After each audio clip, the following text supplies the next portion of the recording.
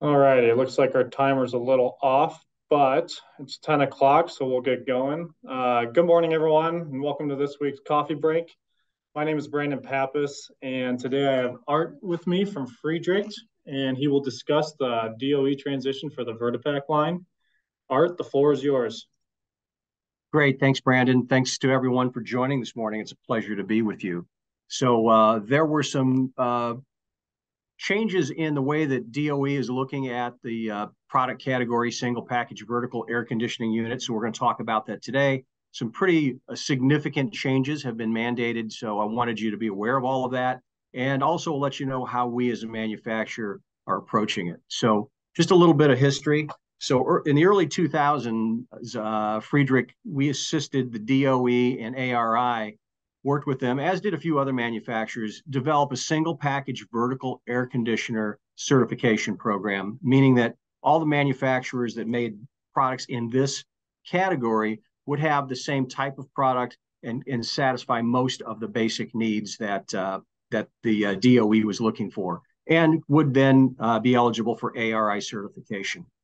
So, also just know that Friedrich offers uh, ver ver uh, vertical package units um, that include the current VHA model, and that's the one we're talking about.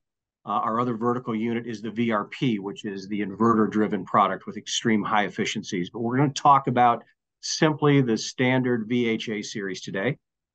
Um, and going back uh, chronologically in 2015, the DOE started looking harder at this and other product classifications.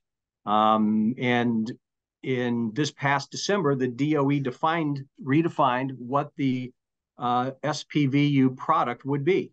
They mandated that it needed to have 400 CFM of out of outdoor fresh air, and they set a deadline for December 2023, which is coming up. So think about that. A one-ton unit, according to government regulations, would then ostensibly be a 100% makeup air unit bringing in outdoor air. So that just wasn't feasible. We had those conversations with DOE, and then they decided to do some recategorization and reclassification. So this past May, DOE sent letters to us and other competitors, other manufacturers, requesting the recategorization of our product line uh, and others.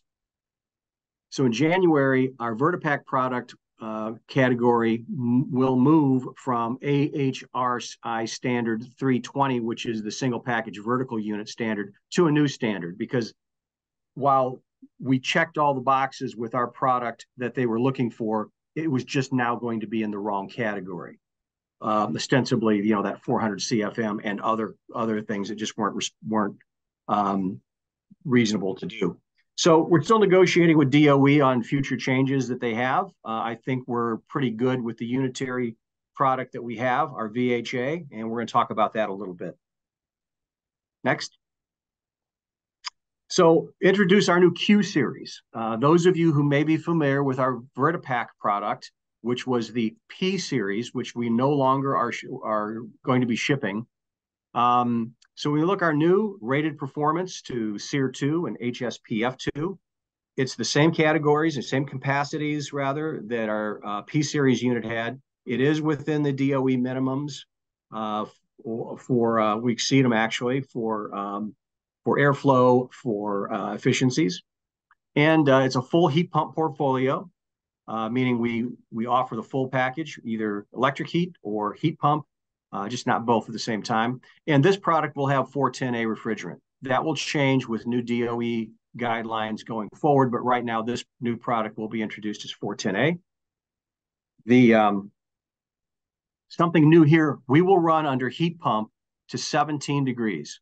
Uh, the previous product will only go down to 38 degrees under heat pump. At that point in time, the Vert-I-Pak would shift over to 100% electric resistance heat. Now we've eh, we have uh, increased that capability to going down to 17 degrees, which meets a lot of standards for around the country. And we will run at 60% capacity at 17 degrees, which is still acceptable for as far as cost savings and efficiencies.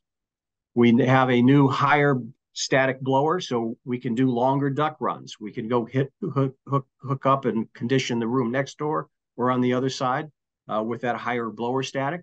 We have an active defrost cycle because going down to 17 degrees, we're going to make sure we need to cover that. And we're having a base pan heater in this product uh, standard simply because at 17 degrees or the lower temperatures, you're going to need something to do keep that base pan heater from freezing up with the condensate. Um, just same footprint as the old product. One thing that is changing, the discharge, if you can see the drawing, it's a rectangular discharge. Our previous product, the P series, had a rounded discharge. So there's one uh, one change that we're making.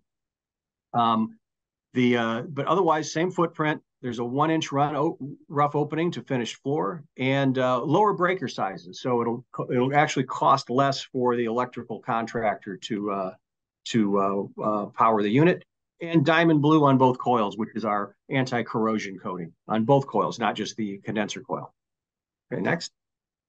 So some features and benefits real quick. Uh, active defrost cycle, you know, uh, short defrost cycle with auxiliary electric, electric heat. We're making up, because it's a shorter cycle, we're not using as much power, it's not taking as long, but we're using auxiliary electric heat to make that happen faster. Heat pump down to 17 degrees uh, before we switch over, uh, and a lower breaker size. So there's um, uh, benefits there. So uh, base pan heater, that's just to keep things from freezing up uh, down below. Uh, you can look at some of the preliminary specifications here. Our 12, our VHA 12, our most popular unit is SEER 2 rating of 11.9. You can see HSPF 2 6.3. And you have a variety of different uh, electrical uh, options as far as backup electric heat. Next. So because of obviously the increased efficiencies, the savings over our vertical, our, our, previous vertical unit, we've got a couple of markets here. Denver happens to be one of them. Uh, in Chicago, uh, the typical savings over the previous model is $684. Denver 521, uh, and you can see the other the, the, other couple of markets there as well. So just kind of a cross section of where we are going to uh, be as far as electrical cost savings uh, for the end user. So a more efficient unit uh, with, uh, with the changes we're making. Next. So Q series, again, just to kind of sum up some of the things here. Um, heat pump down to 17 degrees, active defrost. Um, the annual savings, it's going to be much more efficient. It's going to be uh, less costly to operate. SEER 2. Uh, R410A, we're going to switch that over, obviously, with uh, government requirements, but for uh, the next year, we're going to be working with R410A higher indoor airflow, um, and obviously we have uh, auxiliary resistance heat going as well. Base pan heater, that's huge. Well, we don't want these things freezing up uh, in cold climates and causing issues. So is that, uh, we have one more, I think? That's it. Actually. That's it. Oh, the prizes. Yeah, that, that's the best part, right? That is part of it. yeah. Okay. Um, so happy to answer any questions that people may have, or you can send them uh, over to uh, Long and they can forward them to me. However, you guys want to play it, just want to make sure everyone is uh, has the uh, the information on this unit.